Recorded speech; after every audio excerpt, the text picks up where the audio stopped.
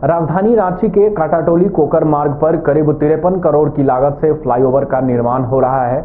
यहाँ लोगों के आवागमन के लिए जो डायवर्सन बनाया गया है, उसका पक्कीकरण पिलर निर्माण के बाद ही संभव होगा। अधिकारियों की माने तो पिलर निर्माण के दौरान भारी मशीनों के इस्तेमाल से सड़क टूट जाएगी। इसी कारण फ़िलहाल कच्ची और उबड़ खाबड़ सड़क पर ही वाहनों का आवागमन होगा। वाहनों के आवागमन को सुगम करने के लिए सर्विस रोड पर बने छोटे बड़े गड्ढों में बिल्डिंग मटेरियल्स डालकर उसके ऊपर डस्ट डस्ट डाले जा रहे हैं। लेकिन इन सब के बीच आम जनता का क्या होगा?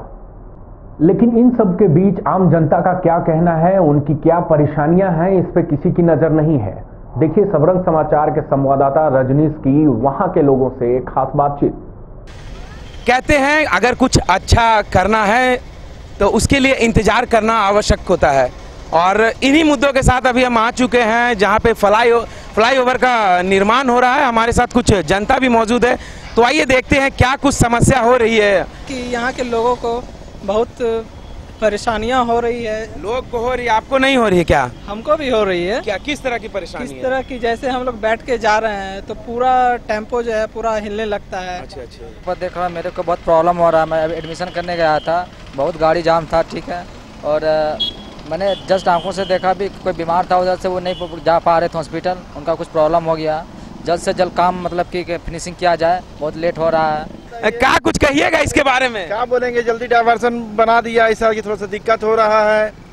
और ऐसा है कि ये जो अभी डाइवर्शन का काम है सरकार कहती है इसमें दो साल लगेंगे। हाँ लेकिन दो साल तक ऐसे ही रहेंगे इसके बारे में बहुत दिक्कत हो जाएगा ऐसा में सरकार का आंकड़ा है दो साल में। क्या आप सहमत है कि ये दो साल में बन जाएगा सरकार के अनुसार जो कही है? अब देखिए अगर सरकार बोल रही है एस्टिमेट निकाल के दी है तो बन ही जाएगा लेकिन दो साल कैसे झेले इस बात के लिए सोच रहे हैं कि दो साल तक ले कैसे हम क्या कुछ समस्या है आपका? समस्या यही है कि रोड ठीक रहता तो निकल जाते। अब बनाया डाइवर्सन भी बनाया तो उस टाइप का गड्ढा ऊँचा बना दिया एकदम बरसात आ गया बरसात में कम से कम थोड़ा ढंग का बनवा देना चाहिए था सरकार को। अब परेशानी है? हम लोग को भी मेरा बताइए ट्रेन का टाइम हो रहा है ये स्थिति। जैसा कि आप देख सकते हैं एक समस्या ये भी है का रोड में चलना बहुत मुश्किल है। देख रहे हैं कितना कीचड़ है।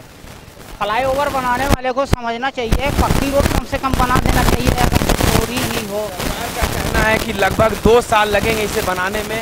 तो दो साल तक यही समस्या रहेगी। इससे भी बुरा समस्या है जो हाल है इससे और भी बुरा समस्या होगी। ये जो बीच बीच में डस्ट डाला जा रहा है इसको लेकर के आप क्या कहेंगे? ये डस्ट तो गलत डाल रहा है पैसा बेकार खर्च कर रहा है। इससे अच्छा है कि अगर सड़क को पक्का बना दे तो यहाँ का आम जनता को कोई दिक्कत नहीं होगी। आने में समस्या देखिए ये बारिश की वजह से ये आज इतना मतलब कि बहुत आप देख रहे हैं किस तरह का मड हो गया है यहाँ पे कीचड़ हो गया है। तो बारिश में ये बहुत ज़्यादा प्रॉब्लम हो रहा है। ये ब्रिज का कंस्ट्रक्शन तो ठीक है ये लोग तो स्टार्ट बारिश नहीं होगी तो ठीक रहेगा।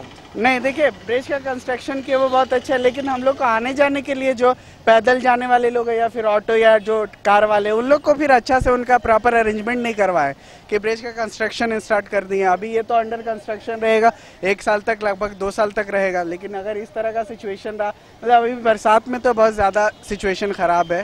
जब कंस्ट्रक्शन होता है डेवलपमेंट होता है तो इतनी असुविधा तो होती ही है।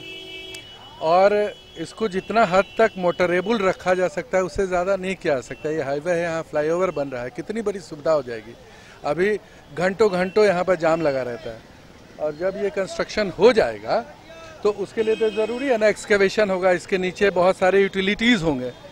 और इसमें अगर आज हम इसमें ब्लैक टॉप कर देते हैं, फिर कल इसको उखाड़ना पड़ेगा। तो पब्लिक का पैसा है। इसको रोज हम उखाड़े और रोल लगाए। क्योंकि इसके अंदर कितने यूटिलिटीज हैं टेलीफोन लाइन है वाटर पाइप लाइन है, और हर को शिफ्ट करना है। तो थोड़ी इनकन्वीनियंस होगी तो इनको चाहिए अथॉरिटी को कि चीज़ों को मोटरेटेबल मोटरेबल रखे। और यहाँ पर ट्रैफ़िक को ईज करने के लिए ट्रैफ़िक का भी अरेंजमेंट हो ट्रैफ़िक पुलिस सर जी रोज रोज मुझे ड्यूटी के लिए डॉन बॉस्को जाना होता है, और इस तरह का कंडीशन चलो, मैं तो अभी यंग हूँ, इसीलिए चल जाता है। जो बीमार तबके के लोग, है ना, रोज एंबुलेंस, इसमें पचास एंबुलेंस रोज गुजरती है, उनसे पूछे कि उनकी कंडीशन क्या होगी। तो देखा आपने, पब्लिक क्या सोचती है इस डाइवर्शन के बारे में और उनकी क्या क्या समस्या है? हमने बहुत तरह की समस्या सुना और इसकी ज़िम्मेदारी किसकी होनी चाहिए, ये भी पब्लिक ने बताया। जी हाँ मुद्दा ये उठता है, जहाँ एक तरफ़ सरकार करोड़ों रुपए खर्च कर रही है इस फ्लाईओवर निर्माण में वहीं कुछ पैसे डाइवर्शन में भी खर्च करते तो अच्छे होता। जी हाँ मैं रजनीश कुमार, कैमरामैन दीपक के साथ, सबरंग समाचार, रांची।